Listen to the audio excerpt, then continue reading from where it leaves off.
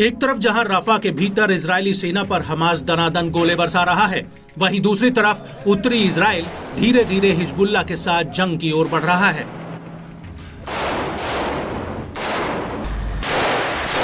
क्योंकि Lebanon border से सटी इजरायली चौकियों पर हिजबुल्ला एक के बाद एक बड़े बड़े हमले कर रहा है, और इन हमलों के बीच इजरायली फौज उत्तरी बॉर्डर पर बुरी तरह से उलझ चुकी है।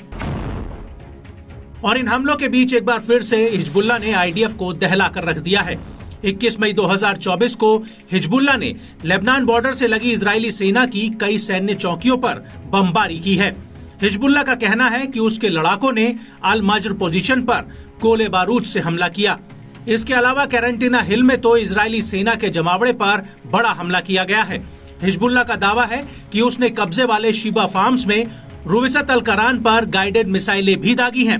बड़ी बात यह है कि इस हमले में पहले हिजबुल्ला ने अल रहब साइट पर रॉकेट और गोला बारूद दागा था।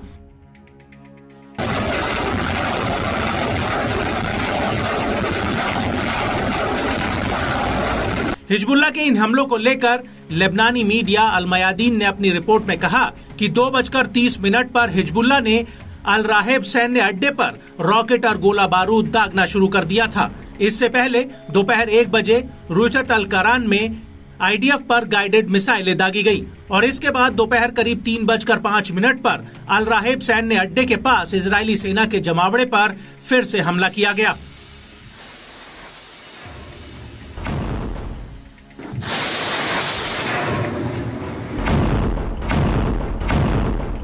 और इस हमले के बाद शाम करीब चार बजे हिजबुल्ला ने मलिकिया सैन्य अड्डे पर भी हमला किया है और इसके 45 मिनट बाद, यानी चार बजकर पचास मिनट पर, अलमारेज सैन्य अड्डे पर हिजबुल्ला के लड़ाकों ने ताबड़तोड़ हमले कर दिए।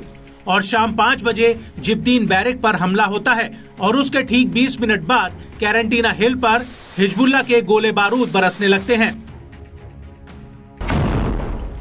वहीं हिजबुल्ला का ये भी कहना है कि उसने अल राहिब सैन्य अड्डे पर रॉकेट और गोला बारूद दागा है। हिजबुल्ला के मुताबिक उसने ये ऑपरेशन आधी रात करीब दो बजकर तीस मिनट पर किया है। हिजबुल्ला ने दावा किया कि पहले उसने इजरायली सेना के जवानों पर करीब से निगरानी रखी और जैसे ही उनकी आवाजाही शुरू हुई, वैसे ही उनके ऊपर रॉकेट हमला कर दिया गया।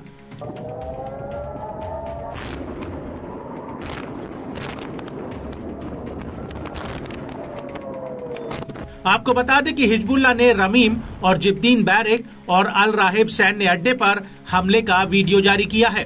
हिजबुल्ला के इस वीडियो में साफ़ दिख रहा है कि कैसे एक रॉकेट बॉर्डर पार करते हुए पहाड़ियों पर बनी एक बिल्डिंग पर जा गिरता है और फिर उसमें एक बहुत बड़ा धमाका होता है। लेकिन इस सब के बीच इसराइल के मिलिट्री विशेषज्ञ एलन बैन डेविड का कहना है कि हिजबुल्ला अब अपने ड्रोन्स में एक रेडार सिग्नेचर इस्तेमाल कर रहा है।